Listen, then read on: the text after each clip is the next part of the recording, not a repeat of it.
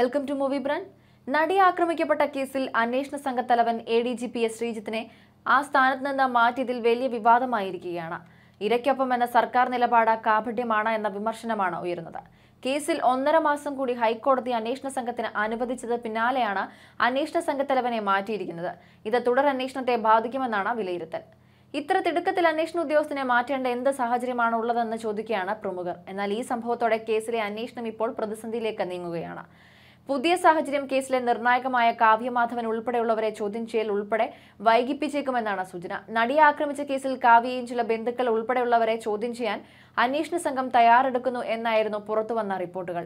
ഗൂഢാലോചന കേസിൽ എഫ്ഐആർ റദ്ദാക്കണമെന്ന ദിലീപിന്റെ ഹർജിയും തുടരന്വേഷണത്തിന് കൂടുതൽ സമയം തേടിയുള്ള ക്രൈംബ്രാഞ്ചിന്റെ അപേക്ഷയിലും ഹൈക്കോടതിയിൽ നിന്ന് അനുകൂല വിധി സമ്പാദിച്ച ശേഷം നടിയെ ആക്രമിച്ച കേസിലെ തുടരന്വേഷണം ഊർജിതമാക്കിയ സാഹചര്യത്തിലായിരുന്നു നിർണായക ചോദ്യം ചെയ്യൽ നടപടികളിലേക്ക് പോലീസ് കടക്കാനിരുന്നത്. ഇതിനിടയിലായിരുന്നു പോലീസ് തലപ്പത്തെ നിർണായക അഴിച്ചുപണി. നടിയെ ആക്രമിച്ചതുൾപ്പെടെയുള്ള കേസുകളിൽ ക്രൈംബ്രാഞ്ച് നിർണായക ഘട്ടത്തിൽ എത്തി നിൽക്കെ തലപ്പത്ത് നിന്ന് എസ് ശ്രീജിത്തിനെ മാറ്റിയതിൽ സർക്കാരിനെതിരെ രൂക്ഷ വിമർശനം ഉയരുകയാണ്. എസ് ശ്രീജിത്തിനെ മാറ്റിയതിൽ സർക്കാരിനെ വിമർശിച്ചുകൊണ്ട് നിരവധി പേരാണ് രംഗത്തെത്തിയിരിക്കുന്നത്. പ്രതിപക്ഷ പാർട്ടികൾ ഉൾപ്പെടെ സർക്കാർ തീരുമാനത്തിന് എതിരെ രംഗത്തെത്തുകയും ചെയ്തിട്ടുണ്ട്. ക്രൈംബ്രാഞ്ച് മേധാവി സ്ഥാനത്ത് നിന്ന് A D G P S ശ്രീജിത്തിനെ മാറ്റിയതിൽ സർക്കാരിനെതിരെ രൂക്ഷ വിമർശനവുമായി പ്രതിപക്ഷ നേതാവ് വി ഡി സതീശൻ ഇന്നലെ രംഗത്തെത്തിയിരുന്നു. മുഖ്യമന്ത്രിയുടെ പൊളിറ്റിക്കൽ സെക്രട്ടറിയായി സി പി എം നേതാവ് പി ശശി ചുമതലയേറ്റതിന് പിന്നാലെയാണ് ഇത്തരത്തിലൊരു മാറ്റമുണ്ടായതെന്നും വി ഡി സതീശൻ കുറ്റപ്പെടുത്തി. നടിയെ ആക്രമിച്ച കേസ് അന്വേഷണ ചുമതലയുള്ള ഉദ്യോഗസ്ഥനെ മാറ്റിയത് എന്തിനെന്ന ചോദ്യം ഉയർത്തിയ അദ്ദേഹം ഇതിന് പിറകിലെ വിവരങ്ങൾ പുറത്തുവരണമെന്നും ആവശ്യപ്പെട്ടിരുന്നു. A D G P S ശ്രീജിത്തിനെ നീക്കിയത് നടിയെ ആക്രമിച്ച കേസ് അന്വേഷണം അട്ടിമറിക്കുന്നതിനാണെന്ന് യൂത്ത് കോൺഗ്രസും ആരോപിച്ചു.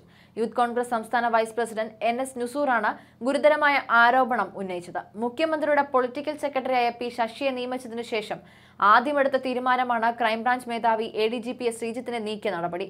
പീഡിപ്പിക്കപ്പെടുന്നവർക്കൊപ്പമല്ല പീഡനത്തിന് നേതൃത്വം നൽകുന്നവർക്കൊപ്പമാണ് സർക്കാരെന്ന് വ്യക്തമാക്കുകയാണ് തീരുമാനത്തിലൂടെയെന്നും അദ്ദേഹം ആരോപിച്ചു. സർക്കാർ നടപടി കേസിൽ തിരിച്ചടിയാവുമെന്നും സി നേതാവ് ആനി രാജയും കുറ്റപ്പെടുത്തി. സർക്കാർ നടപടി നിരാശാജനകമാണ്. നടപടി അന്വേഷണത്തെ പ്രതികൂലമായി ബാധിക്കുന്നതിന് കാരണമാകുമെന്നും ആനിരാജ ചൂണ്ടിക്കാട്ടി. കോടതി പോലും ഈ കേസ് ഗൗരവമായി കാണുന്നില്ലെന്നും ആനിരാജ ചൂണ്ടിക്കാട്ടി. നടിയെ ആക്രമിച്ച കേസ് അന്വേഷണ സംഘത്തലവനെ മാറ്റിയ സർക്കാർ നടപടി പെൺവേട്ടക്കാരെ സഹായിക്കാനാണെന്ന് ആർ എം പി നേതാവും എം എൽ എയുമായ കെ കെ രമ ആരോപിച്ചു. കേസന്വേഷണത്തിന്റെ ഗതിവേഗത ദുർബലമാക്കാനുള്ള കുറ്റകരമായ ഇടപെടലാണ് സർക്കാർ നടത്തിയിരിക്കുന്നത്. അതിജീവിതയ്ക്കൊപ്പമാണെന്ന് അഭിനയിക്കുകയും വേട്ടക്കാർക്ക് അണിയറയിൽ വിരുന്നു നൽകുകയും ചെയ്യുന്ന സർക്കാരിന്റെ ഇരട്ടത്താപ്പ് ചോദ്യം ചെയ്യാൻ നീതിബോധമുള്ള മനുഷ്യർ രംഗത്ത് വരണമെന്നും കെ കെ രമ ആവശ്യപ്പെട്ടു. നടിയെ ആക്രമിച്ച കേസ് അന്വേഷണ സംഘത്തലവൻ സ്ഥാനത്ത് നിന്ന് ശ്രീജിത്തിനെ മാറ്റിയതിന്റെ പിന്നിൽ അഭിഭാഷകൻ രാമൻപിള്ളയുടെ ഇടപെടലാണെന്ന് K K Rema M L A ആരോപിച്ചു. ടി പി ചന്ദ്രശേഖരൻ വധക്കേസിലെ ഉന്നതർ ആരൊക്കെയാണെന്നും കേസിൽ എന്തൊക്കെയാണ് നടന്നതെന്നും വ്യക്തമായി പഠിപ്പിച്ച അഭിഭാഷകനാണ് രാമൻപിള്ള അദ്ദേഹത്തിനൊപ്പം ഇപ്പോൾ സർക്കാർ നിന്നിട്ടില്ലെങ്കിൽ പല വിവരങ്ങളും പുറത്തു വരുമെന്ന ഭയം സർക്കാരിനുണ്ടെന്നതാണ് ഇപ്പോഴത്തെ നീക്കങ്ങൾക്ക് പിന്നിലെന്നും കെ കെ രമ പറഞ്ഞു. കൂടുതൽ വാർത്തകൾക്കും വിശേഷങ്ങൾക്കുമായി ഈ ചാനൽ സബ്സ്ക്രൈബ് ചെയ്യുക.